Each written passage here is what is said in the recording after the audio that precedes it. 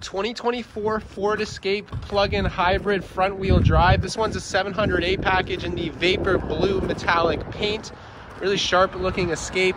You're rolling on 18 inch machined aluminum alloy wheels, magnetic painted pockets, and Michelin all season tires. This one's powered by the 2.5 liter hybrid inline four engine. Coming around back, you do have the class two trailer tow package equipped here, your dual exhaust, rear view camera. It is a power tailgate. You can't open and close that from the key fob. You also have the easy access cargo shade, which is a really nice feature here uh, to hide your belongings in the back. You have carpet mats. That's your uh, charger there. And then you have your spare tire underneath and you can fold down those rear seats uh, for even more storage space. So be sure to check out the photos for that. A nice panoramic Vista moonroof on this vehicle. And you also have a button to close it there.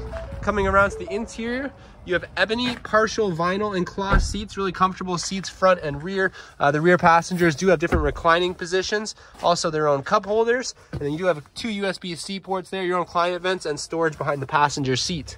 I should also mention these rear seats, you can slide them forward or back, uh, depending on if you want more legroom or more cargo space. Uh, power windows and locks, of course, power glass adjustable heated mirrors, blind spot monitoring, automatic headlights here, and really comfortable front bucket seats. You do have an eight-way power driver seat here with lumbar. They are heated, of course.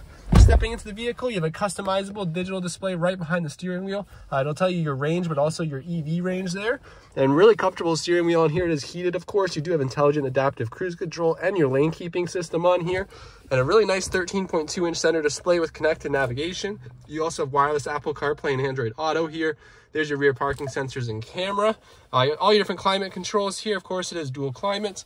Uh, and then you have different drive modes on this vehicle as well. Uh, so normal, eco, sport, slippery. You can also choose whether to use auto EV, EV now, or EV later. Um, for your EV driving there. Um, you do have different connectivity options, dial style shifter, remote start on the key fob, some storage in the center console, and some more over here in the glove box. And there's your rear view mirror and your different sunroof controls. So really nice uh, escape all the way around.